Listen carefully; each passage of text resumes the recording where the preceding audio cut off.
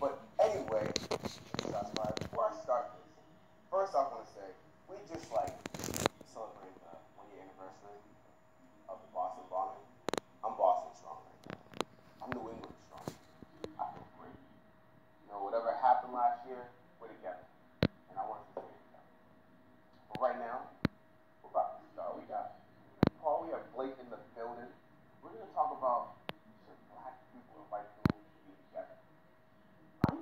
guys ready for this? Blake, are you ready? First off, you ready? Wait, you ready? I, don't know, man. I might don't right now. I'm. I think. All right. First off, tell me how y'all feel. Why can't we be together? Because look what?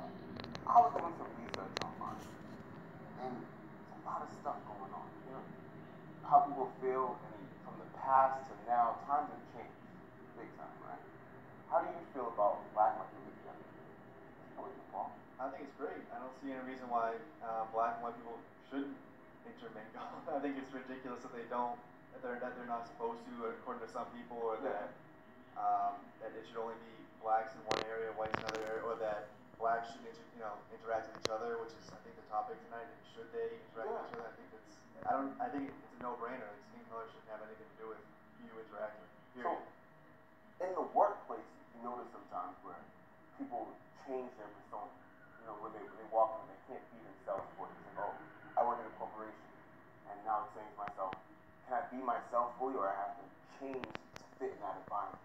Well, I, I find I, I have to act white when I'm at work. You do? I do. How, how's that make you feel? Uh, emasculated. No, that's just right. How about you? What, what, what, what, what do you see going on?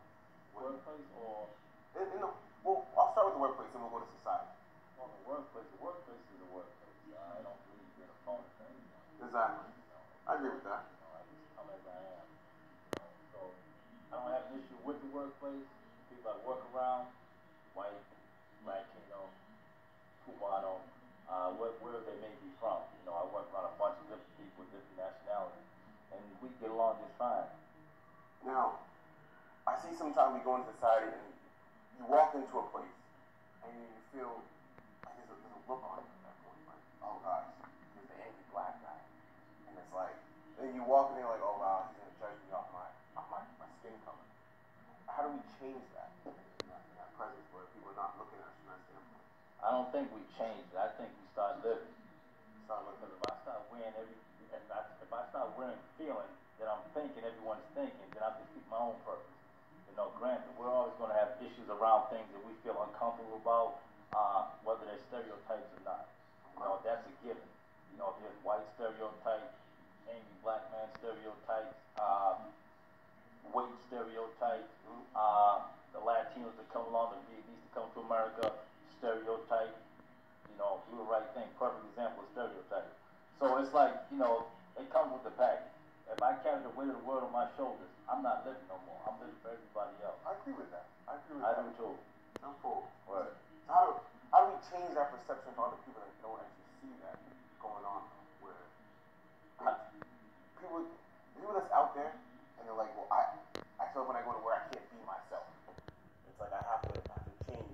How do you talk to those people and say you don't have to change, you can be yourself and still achieve the goal you're trying to achieve the? Well, that, that depends on what you're trying to measure when you say uh, be yourself and change. You know, when you're in the house with your with your partner, you know, you're gonna be a little different than when you come out and go to work, of course. You know, so in, in that regard, you know, we all have to structure ourselves to the larger part of society to fit in. You know, without selling selling yourself out or what have you. You know, uh, I mean, we know when it gets to the point when we're kidding ourselves, we're lying to ourselves, whether we're in a daily conversation about something, we saying yes when we really mean no. Yeah. We're saying no when we really mean yes, you know, because we feel like we want to fit in. You know, so we all go through our own little uh, psychological wars. You know what I mean? Whether it's black on black, cultural, political, whatever the case may be. You know, I think those things are given too, because at the end of the day, if I'm sitting on the edge of my bed wondering, you know, how was my day today? You know, and I'm stressed out by a lot of things that I uh, should have addressed, but I didn't address. Yeah. You know, and the question then becomes why. You know, I'm basically I'm pointing in the direction of accountability, personal accountability. I, You know, I, I hear that. I'm a Paul.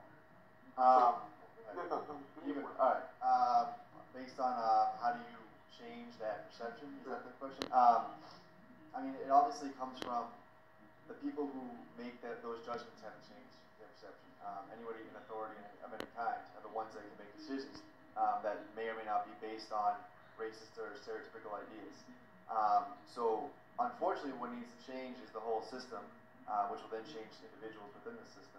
And the only way to do that is, I think, um, I mean, I'm not a big proponent of American capitalism, but I'm an American capitalist economic uh, expert, John Nash, invented the, um, or discovered, I guess, the game theory, which means that everybody involved should do exactly what they want.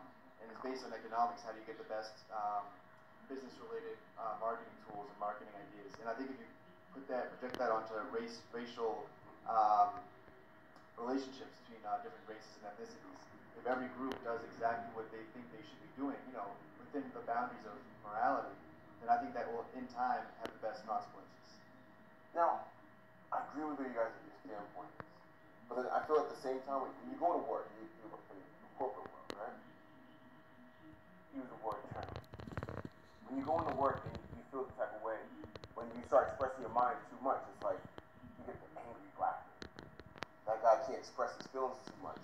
And you say you want to be yourself, but at that same point, when you be yourself, you get shunned away like, oh, we can't promote him to the next level because this guy is angry. And in reality, he's the same way you feel, but he's expressing it a different way, a different light. And he's trying to get to the next level, but it's like, whoa, he's giving too much at one time. And we got we got to cut him off, we got to shut him down because he, he he's angry and he's the mess of our whole atmosphere here and what we're trying to accomplish. And I feel that sometimes where you get that cynicism was we can't be who we want to be in, in the workplace at points. In, in the corporate world. How, how would you address that? Well, I, I hear what you're saying, and I agree with what you're saying, and we have to look at historical and cultural reasons, political reasons, why that is. The angry black man, why is he angry? Why does it keep reoccurring? It's never stopped occurring, whether we express it through any form of art we choose to. You know, there's an expression of anger somewhere along the line that needs to be addressed, and can only be addressed by us that with regard. You know, I love where we're going with this. But we gotta, we gotta take a break for a second. Because we actually have to go over to Tyler.